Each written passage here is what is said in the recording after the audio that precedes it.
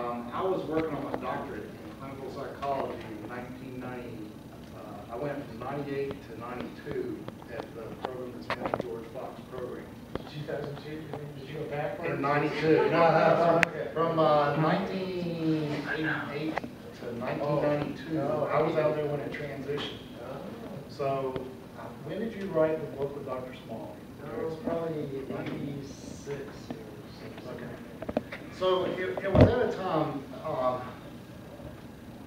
Dr. Trent is one of those that has done just a masterful job over the, sorry, I'm gonna age you a little bit, over the decades, to really bring a professional orientation of um, what we know about relationships and to bring that into the context of the church and family relationships.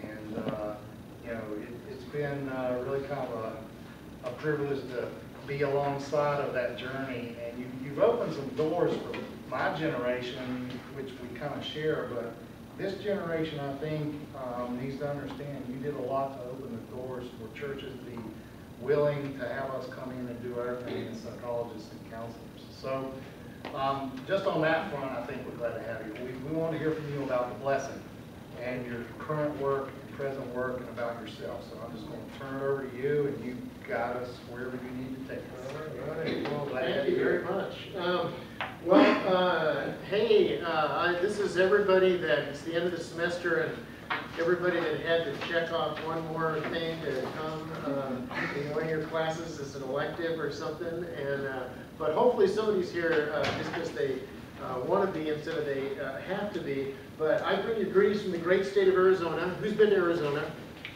Who's been there in August? On purpose?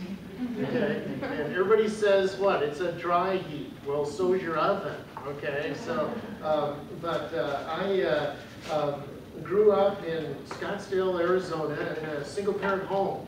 So my mom and dad divorced when I was two and a half months old. I never met my dad till I was in high school. When I did meet my dad, he was an angry alcoholic, and I used to hate my dad.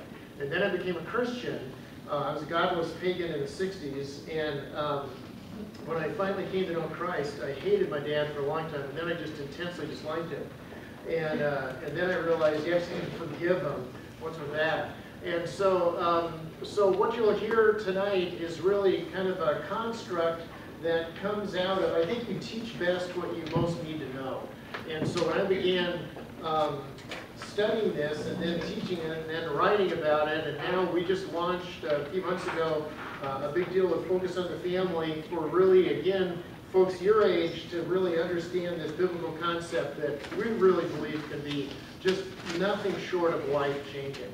So I'm going to pray, we'll jump in there, and here we go. Lord, thank you for your love. Thank you for each person here. I know they've got, their minds just have to be in so many places with you know, finals coming up and the thought of going home and so to sit for a period of time and soak in more things, uh, you're going to have to do just some great things. But I pray you would shove aside just a little bit of space so that they're really uh, open and willing uh, to understand how incredibly powerful, how unleashing it can be when we choose to bless others. And Lord, how amazingly damaging it is and why a lot of us are, you know, stay employed in the marriage and family area when people miss the blessing. So we'll talk on both sides, but thank, most of all, we'll, we're so grateful that you indeed reverse the curse and can really put us on a path that leads towards you and life and blessing. So teach us about that tonight in the next little bit of time. It's in your precious name we do pray, and all God's people said. Amen.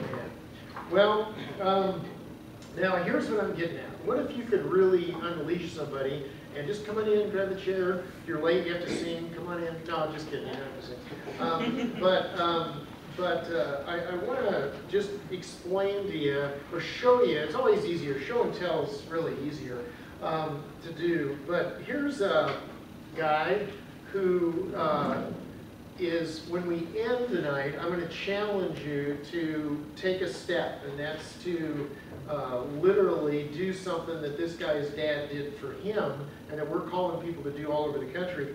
Um, but take a look at this and uh,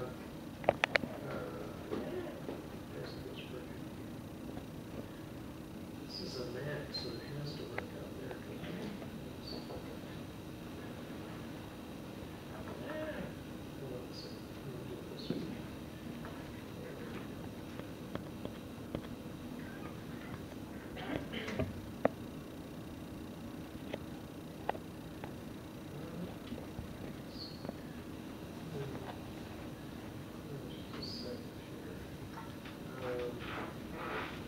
moved it to your desktop.